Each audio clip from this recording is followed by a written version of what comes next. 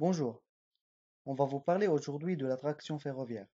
L'attraction ferroviaire, c'est tout ce qui est en rapport avec les chemins de fer, avec les trains. On va vous expliquer dans ce projet comment, euh, comment fonctionne le moteur à vapeur, le moteur électrique, le moteur magnétique. On va vous dire, euh, vous dire enfin comment roule un train. Euh, voici le plan des points qu'on va aborder, mais dans cette vidéo, on va s'intéresser sur la, sur la deuxième partie, la partie train, et on va parler essentiellement du train à vapeur. Pour euh, expliquer euh, le mécanisme du train à vapeur, il est essentiel de parler du moteur à vapeur et expliquer son fonctionnement. Le moteur à vapeur est un moteur qui transforme l'énergie thermique en une énergie mécanique.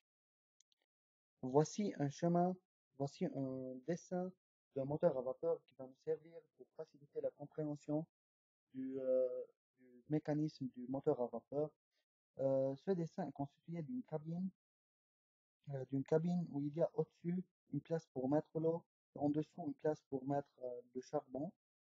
Et cette cabine est reliée par deux tuyaux à un cylindre où il y a un piston et ce cylindre est fermé totalement il est relié en A', en B' à deux autres tuyaux, un autre cylindre euh, qu'on va pas s'intéresser, mais euh, on va pas s'intéresser de, cette partie. On va parler surtout de la partie à gauche du cylindre, du, deuxième cylindre.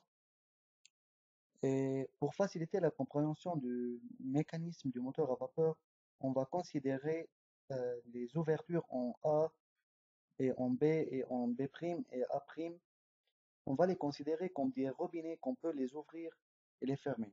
Et dans un premier temps, le robinet en A et en A', les robinets en A et en A' sont fermés. Donc, on va mettre du charbon, alors l'eau va s'échauffer, donc elle va s'évaporiser. La vapeur donc va monter dans le premier tuyau, elle va passer par le premier tuyau en A, mais elle ne peut pas passer car le robinet est fermé. Alors, elle va passer par le deuxième tuyau, donc elle peut passer, elle va entrer à cette zone-là car elle peut passer par B, comme le robinet n'est pas formé, n'est pas fermé, mais elle ne peut pas sortir par A'. Donc la vapeur va se condenser ici, elle va pousser le piston vers le bas. Euh, alors euh, le piston est vers le bas. Et après ce qu'on va faire, c'est que on va fermer le robinet en B et en B', on va l'ouvrir en A et en A'.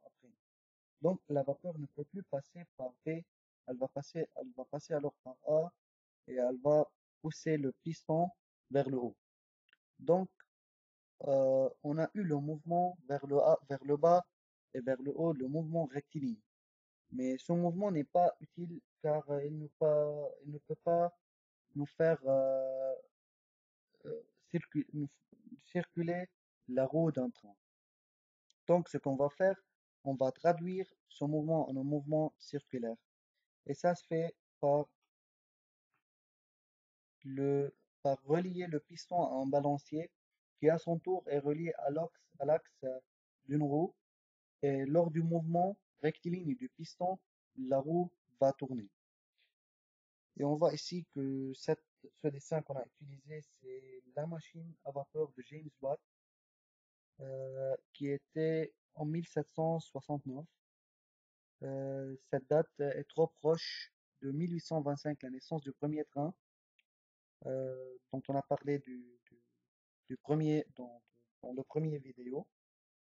Et cette forme de moteur à vapeur n'est pas la dernière forme. Cette forme, elle a connu beaucoup de modifications, surtout sur la partie de ce cylindre qu'on n'a pas parlé dans euh, cette partie.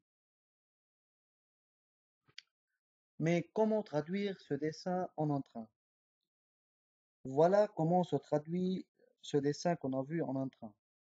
Voici le piston qu'on a déjà parlé. Sauf que dans un train, euh, l'ouverture et la fermeture euh, des, robinets ne fait pas ne se fait pas euh, ne se fait pas par euh, manuellement elle se fait automatiquement Et cela est le rôle du piston qui est, vous voyez ce, petit piston, qui est relié au mouvement du grand piston.